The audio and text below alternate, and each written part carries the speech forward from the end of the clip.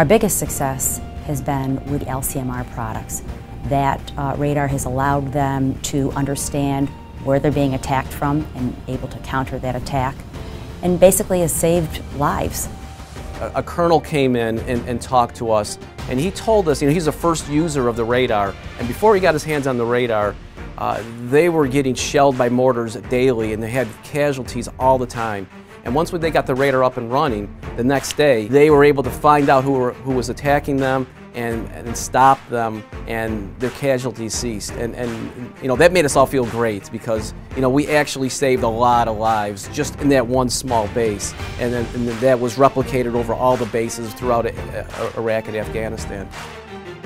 The world changes every day and we wake up and something new is happening. Our enemies are more and more sophisticated. Sort of forces us to innovate, but also challenges us to reach that bar every day. Sometimes the challenges are in the science itself. To overcome these challenges, we, we have to come up with ways of being even more innovative to get to our end solution. Here at SRC, I think we are all motivated on a daily basis to come in and work hard and innovate and create products that save lives on a daily basis.